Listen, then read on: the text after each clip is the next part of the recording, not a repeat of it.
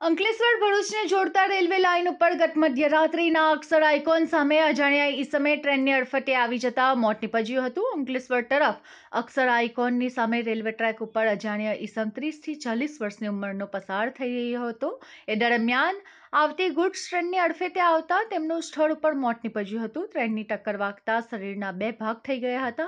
જે જોતા યુવકે આપઘાત કર્યો કે પછી પસાર થતી વેળા ટ્રેનની ટક્કર વાગી તેવા સવાલ ઊભા થયા હતા. ઘટના અંગે અંકલેશ્વર શહેર એ ડિવિઝન પોલીસને જાણ થતાં પોલીસનો કાફલો સ્થળ ઉપર દોડી આવ્યો હતો અને આ અંગે પોલીસ દ્વારા સામાજિક કાર્યકર ધર્મેશ સોલંકીનો સંપર્ક કરાતા રાત્રે એક વાગ્યે ધર્મેશ સોલંકી અને તેની ટીમ સ્થળ ઉપર પહોંચતા બે ભાગમાં કપાયેલા મૃતદેહને ભેગા કરી પોસ્ટમોર્ટમ અર્થે ગડખોલ આરોગ્ય કેન્દ્ર ખાતે ખસેડાયા હતા. ઘટના અંગે એ ડિવિઝન પોલીસ દ્વારા પ્રાથમિક અજાણ્યા ઈસમના મોત અંગે અકસ્માતે મોતનો ગુનો નોંધી વધુ તપાસ શરૂ કરી હતી અને મૃતક ઈસમ કોણ છે તેની ઓળખ માટે પોલીસ દ્વારા તેના મૃતદેહના ફોટા સોશિયલ મીડિયા ઉપર શેર કરી તપાસ શરૂ કરી હતી. જિલ્લામાં ગુમ થયેલા ઈસમોની વિગત તેમજ આજુબાજુના વિસ્તારમાં યુવકના પરિજનોની શોધખોળ શરૂ કરી હતી.